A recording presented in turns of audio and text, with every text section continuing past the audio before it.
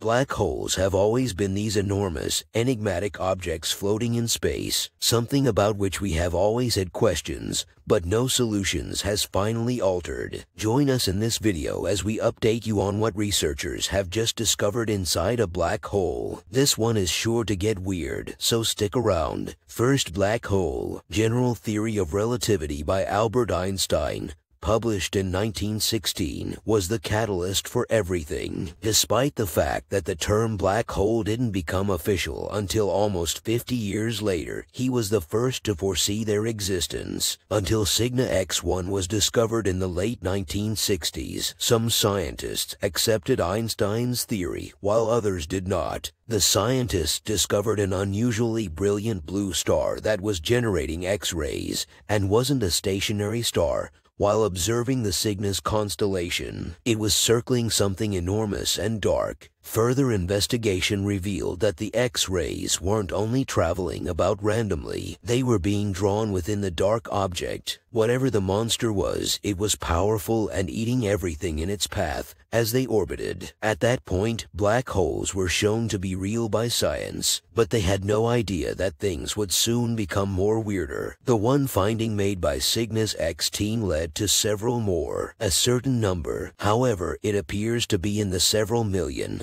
which makes them much more crucial to examine. Most physicists agree that a black hole is an object into which everything falling falls astronomically until it becomes a single,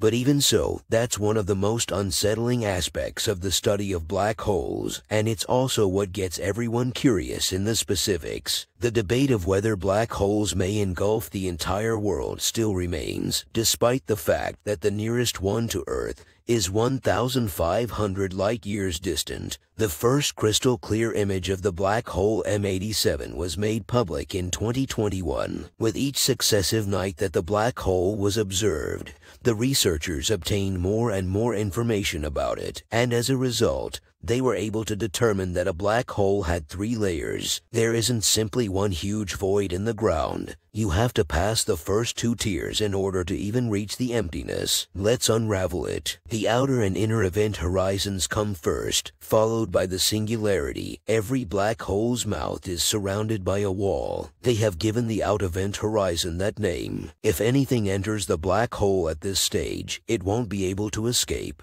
on its route to the singular, it will either remain there or be pushed farther into the inner layer. This is due to the fact that gravity is strong and continuous across the event horizons. Therefore, once anything enters, it can't actually exit. Something would need to move far more quickly than the speed of light in order to escape from there. Anything that has been impossible up until now. The gravity on Earth may be something we take for granted, but if it were any different, we couldn't survive the way we do. The major, huge, awful, and singularity black holes are located after the event horizon. The singularity is the point when everything is squeezed down to a single particle becoming basically nothing, even if the entire black hole is to be avoided. This is where most of the universe's mass lies. The way physics works on Earth and in the majority of the space we have explored is different inside black holes rules. It is entirely distinct. If there is no rule supply, anarchy reigns. The fact that every black hole is unique makes the situation worse. You could be able to learn everything there is to know about one black hole since it might have a completely different gravitational pull than the other. When you begin looking into another, you must then start over. The blip.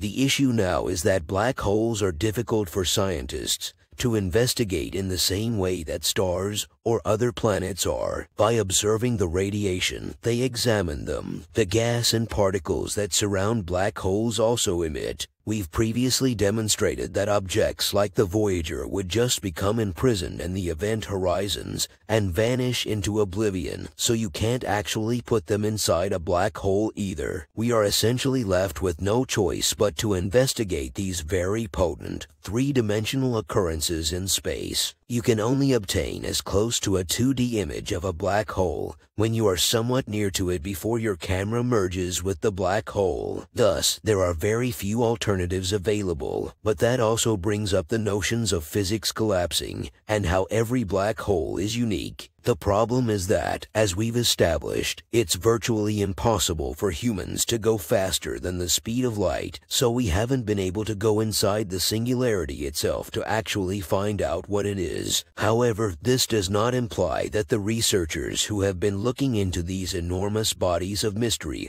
are without hypotheses of their own. There are several ideas regarding black people. Let's go over some of the most logical hypotheses on what experts believe to be within the black hole. The main hypothesis, aside from the singularity, is that the film Interstellar may have been onto something. In spite of their appearance, black holes may really contain gas beyond their event horizons and the beginning of the singularity. Of course, we're not talking about your standard front gate. We're discussing intergalactic and interuniversal travel. If we can develop technology that can move faster than the speed of light, we might be able to prove that black holes are a fault in the matrix. It's possible that the singularity isn't simply the emptiness that we now understand, but rather a wormhole to another galaxy beyond a shortcut to interstellar travel that we had never even considered was feasible, and that isn't quite as unthinkable as it originally seemed. It could well be true. If true, it implies that our knowledge of the solar system's planets is not our only option. We may even consider devising strategies for entering the galaxies that these black holes govern after passing through these black holes. On the other opposite end of the spectrum from these hypotheses is the one that completely denies their very existence. Well, sort of. Tokyo-based physicist Enrico Rinaldi has been working with his team to understand black holes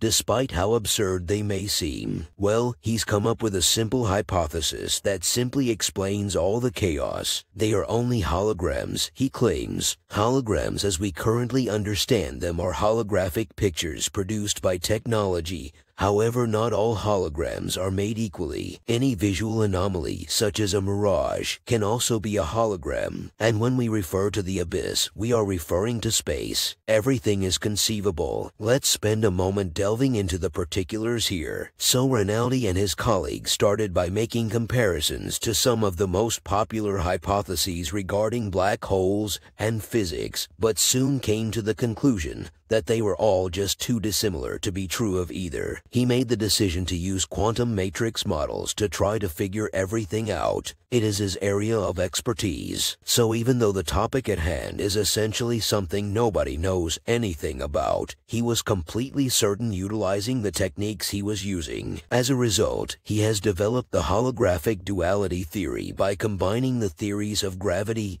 and particles. A variety of experiments were conducted by Rinaldi and his colleagues. They've concluded that in order to understand what's happening within a black hole, a location that no one can physically enter, they need to grasp how it works. The entire situation must be handled as a hologram. Project the black hole pictures we currently have in three dimensions. They claim that black holes have always been in the third dimension, and that understanding them requires looking looking at the exterior rather than the inside. In the video that will play again, do you recall the dust and gases we discussed earlier? Outside of the black hole, space and time are traveling in the opposite direction. It seems complicated, but to put it simply, the black hole affects not just what happens inside the singularity or wormhole, but also the space that it occupies. The entire environment that it surrounds is considered. Everything works together to power this enormous evil and give it its characteristics. We should consider the potential of a moving black hole, which is like a ring that is just eating things whole and increasing more and more powerful as it goes, rather than being centered on a single spot where all matter collapses. That may also mean that the possibility of one of the moving near planets like the Earth to swallow it whole isn't really that far-fetched. Because of the recent developments in the studies about black holes, scientists are now closer than ever before to fully understanding. While we now know that deep inside black holes is the singularity where nothing may survive, chances are more research into them might literally open up brand new worlds, or should we say galaxies, that we've never even expected. But to get more details on it, we'll just have to wait a little longer. And on that note, we'll wrap up today's video. What do you think is inside black holes? Do you agree with the scientists or are you working on your own theories? Let us know in the comments below. If you like the video, please give it a thumbs up and subscribe to our channel for more videos just like this. We'll see you guys next time.